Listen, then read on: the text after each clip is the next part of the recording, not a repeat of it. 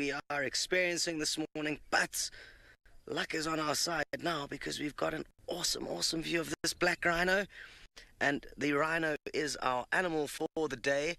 For let me get this right. It's World Animal Day, but we at Safari Live are making a week worth of World Animal Day, and the rhino is our animal of the day. So I hope you understand that all. I'm not sure which day World Animal Day is. It might be coming up. I guess it is. but we are taking it to the next level by picking an animal every day for the week. And how awesome is this? He's lifting up his tail because he's a little bit distressed by the fact that there's vehicles around. So let's just watch her. You may charge into them.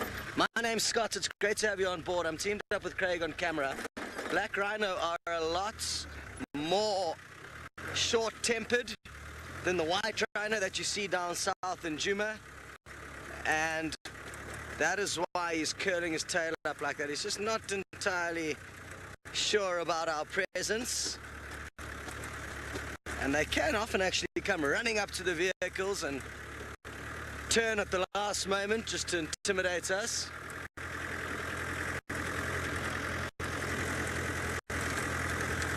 Hello to Fan, you would like to know if rhinos are group animals like wildebeest and black rhinos are ordinarily solitary but occasionally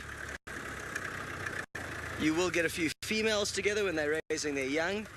And the white rhino the females can hang out in small herds and I guess even young males sometimes hang out together. So there's a few differences between the black and the white rhino this is the black. It's smaller than the white rhino. It's got a hooked lip. It feeds on leaves as opposed to the white rhino which feeds on grass. There you can see some zebra and wildebeest in the background. And it may actually even chase them. I've seen black, I've seen black rhino quite often chase other antelope around. Their eyesight is terrible, so they get a little bit nervous, even though they are huge and not much can mess with them. The fact that they cannot see very well makes them a little bit cautious, and that's why they swivel their ears around from side to side. Their hearing is very good. Wonderful stuff. Well, we got brought into this area because we were... Asante sana bwana. Hiyo habari mzuri. Shukran.